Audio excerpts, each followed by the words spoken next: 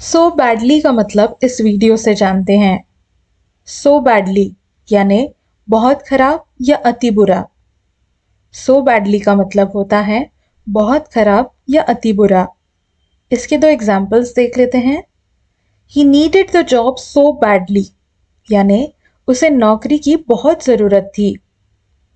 दूसरा example they wanted to go on a vacation badly मतलब वे छुट्टी पर जाना बहुत चाहते थे।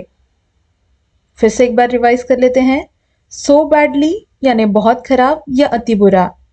उम्मीद करती हूँ आपको यह मतलब समझ आ गया होगा।